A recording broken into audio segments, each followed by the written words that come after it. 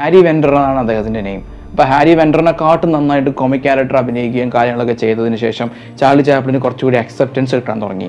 അങ്ങനെ Charlie Chaplin നിരത്തിലേക്ക് ഇറങ്ങിയെങ്കിലും അദ്ദേഹത്തിന് ഇങ്ങനെ പൂർണമായി നിൽക്കാൻ പറ്റിയില്ല. കാരണം അദ്ദേഹത്തിന്റെ അമ്മയ്ക്ക് വന്ന അതേ പ്രശ്നം ഒരു ദിവസം അദ്ദേഹത്തിന് വന്നു. അതായത് ഇദ്ദേഹം ആദ്യമേ അഭിനയിച്ച ഈ അതായത് ഈ അഭിനയിച്ചുകൊണ്ടിരിക്കുന്ന ഈ ഡ്രാമേന്റെ പേരെന്ന് പറയുന്നത് ഫുട്ബോൾ എന്നായിരുന്നു. അങ്ങനെ ഫുട്ബോൾ എന്ന് പറയുന്ന ഈ പർട്ടിക്കുലർ ഡ്രാമ അത് ഹിറ്റായി നല്ല ഹിറ്റായി വന്ന് പാരീസിൽ പോകുന്ന സമയം. അദ്ദേഹം പാരീസിൽ പോയി ഇത് അവിടെ ഹിറ്റാക്കി തിരിച്ചു വന്നിട്ട് തിരിച്ചു വന്നു കഴിഞ്ഞപ്പോൾ ഈ ഹാരി വെൻഡർക്ക് പകരം വേറെ ഒരു കുറച്ചുകൂടി നല്ല റോൾ കിട്ടി ചാർലി ചാപ്ലിന് അങ്ങനെ ചാർലി ചാപ്ലിന് കിട്ടിയ റോൾ അദ്ദേഹം സ്റ്റേജിൽ കയറി ഇത്ര തൊണ്ട പൊട്ടി കയറിയിട്ടോ അദ്ദേഹത്തിന് ഒരു ചെറിയ ശബ്ദം പോലും പുറത്തേക്ക് വന്നില്ല. അമ്മയ്ക്കുണ്ടായ അതേ സ്ഥിതി മോനും വന്നു. അങ്ങനെ വന്നേ പിന്നീട് ചാർലി ചാപ്ലിൻ ആ ഒരു വിധി കാരണം കുറച്ച് കാലത്തേക്ക് അഭിനയിച്ചില്ല. അദ്ദേഹം ഒരുപാട് കഷ്ടപ്പെട്ട് അതിന് മരുന്ന് വെച്ച് ട്രീറ്റ് ചെയ്ത് ട്രീറ്റ് ചെയ്ത് ശരിയാക്കി എടുക്കുകയാണ്. ശരിയാക്കി എടുത്തതിന് ശേഷവും ലണ്ടനിലുള്ള ആർക്കും ചാർലി ചാപ്പിനെ വെച്ചുകൊണ്ട് ഒരു പ്ലേ ചെയ്യാനോ ഡ്രാമ ചെയ്യാനുള്ള ധൈര്യമില്ലായിരുന്നു. കാരണം എപ്പോഴെങ്കിലും ഇങ്ങനെ ഒച്ച നിന്നു പോവുകയോ നിരച്ചു പോവുകയോ ചെയ്തു കഴിഞ്ഞാൽ അവരുടെ ആൾക്കാരെ അവർക്ക് നഷ്ടപ്പെടും.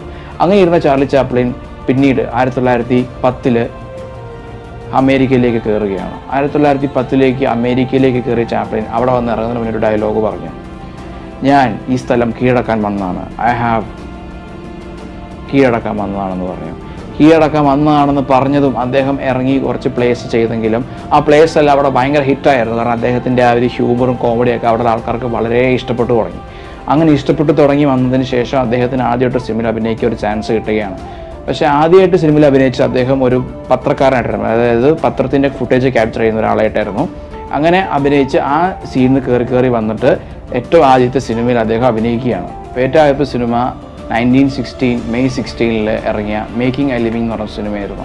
ആ സിനിമ ഇതുപോലെ തന്നെ ആ കാലത്ത് ജീവിച്ചിരുന്ന ആൾക്കാരുടെ പ്രശ്നങ്ങളും കാര്യങ്ങളെല്ലാം കാണിച്ചിരുന്ന സിനിമ. അതുപോലെ തന്നെ City Lights City Lights Modern Times ഇങ്ങനത്തെ സിനിമകളിലൊക്കെ തന്നെ ദ ഡിക്റ്റേറ്റർ എന്ന് പറഞ്ഞ സിനിമയൊക്കെ വന്നിട്ടുണ്ടായിരുന്നു ചാർലി ചാപ്ലിന്റെ ഈ സിനിമകളെല്ലാം തന്നെ ആൾക്കാരുടെ ആ ഒരു പ്രശ്നങ്ങളും കാര്യങ്ങളെല്ലാം കാണിച്ചിട്ടുണ്ടായിരുന്നു. അതിന് കൂടെ തന്നെ കോമഡിയും നല്ലോണം ചേർത്തിട്ടുണ്ടായിരുന്നു.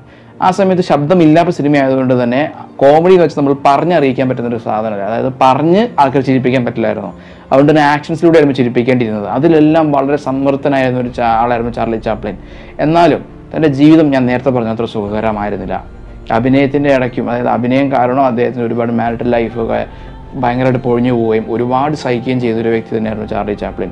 അദ്ദേഹം ഒരിക്കൽ പറയുകയുണ്ടായി നിങ്ങൾ നിങ്ങൾക്ക് ഒരു തമാശ വീണ്ടും വീണ്ടും കേട്ടാതെ ചിരിക്കാൻ തോന്നുന്നില്ല എന്നുണ്ടെങ്കിൽ നിങ്ങൾ വീണ്ടും വീണ്ടും നിങ്ങളെ സങ്കടങ്ങളെ ഓർത്ത് കരയാതിരിക്കുക എന്ന് പറയാൻ തുടങ്ങി. അങ്ങനെ എത്രയോ ബുദ്ധിമുട്ടുകൾ സഹിച്ചതിന്റെ ഇടയ്ക്കും അദ്ദേഹം ഒരുതരം സങ്കടങ്ങളും ഓർക്കാതെ നമുക്ക് വേണ്ടി ഇത്രയും ചിരിക്കാൻ അദ്ദേഹം അല്ലെങ്കിൽ ചിരിക്കുകയാണ് അദ്ദേഹത്തിന് അത്രയും ചിരിപ്പിക്കാനുള്ള കഴിവുണ്ടെങ്കിൽ നമുക്കും കുറച്ചൊക്കെ അങ്ങനത്തെ കഴിവ് കാണുന്നതാണ് ആൾക്കാരുടെ മുമ്പിലും നമ്മൾ എത്രയധികം സഫർ ചെയ്യുമ്പോഴും നമ്മുടെ സഹനങ്ങളെല്ലാം ഉള്ളിൽ ഒതുക്കി ചിരിച്ച് അവരെ ചിരിപ്പിക്കാൻ നമ്മൾ മാക്സിമം ശ്രമിക്കുക.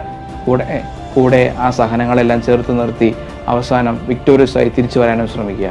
ഇദ്ദേഹം മരിക്കുന്നത് ആയിരത്തി തൊള്ളായിരത്തി എഴുപത്തി ഏഴിലാണ് ഇദ്ദേഹം മരിക്കുന്നതിന് മുന്നേ ഇദ്ദേഹത്തിന് സ്വന്തമായി ഫിലിം മേക്കിംഗ് ഇൻഡസ്ട്രിയും ഫിലിം മേക്കിംഗ് ഇൻഡസ്ട്രിയും സ്വന്തമായ ഒരു നല്ല ആക്ടർ എന്ന പൊസിഷനും ഒക്കെ ഉണ്ടായിരുന്നു. അപ്പോൾ നിങ്ങൾ ചിന്തിക്കുക എവിടെ കിടന്ന ചാപ്ലിനാണ് ഇവിടം വരെ എത്തിയത്? ഇവിടം വരെ എത്താൻ പറ്റുമെങ്കിൽ നിങ്ങൾക്കും എത്താൻ സാധിക്കും. ഈ വീഡിയോ ഞാൻ കൺക്ലൂഡ് ചെയ്യുകയാണ്.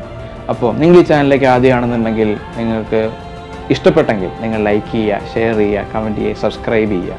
പിന്നീട് നിങ്ങൾ ഈ ചാനൽ സ്ഥിരം കാണുന്നൊരു വ്യക്തിയാണെങ്കിൽ നിങ്ങളുടെ മിസ്റ്റേക്സ് ഒക്കെ നിങ്ങൾ ഭയങ്കരമായിട്ട് ക്യാപ്ചർ ചെയ്യുന്നുണ്ടെന്നുണ്ടെങ്കിൽ അതെല്ലാം ഒന്ന് കമന്റ് ചെയ്യുക. നമ്മളതെല്ലാം റെക്ടിഫൈ ചെയ്യുന്നതായിരിക്കും. ഇത് ഒരുപാട് മിസ്റ്റേക്സ് അങ്ങനെ നിങ്ങൾ പറഞ്ഞിരുന്നു റെക്ടിഫൈ ചെയ്യുകയും ചെയ്തിട്ടുണ്ട്. സോ ടേക്ക് കെയർ പിന്നെ സബ്സ്ക്രൈബ് ചെയ്യുന്ന ഇവിടെ ബെല്ലൈക്കൺ കൂടി ഞെക്കാൻ മറക്കരുത് കേട്ടോ. അപ്പോൾ see in the next video this is Jibin Mathew signing off from insiders channel bye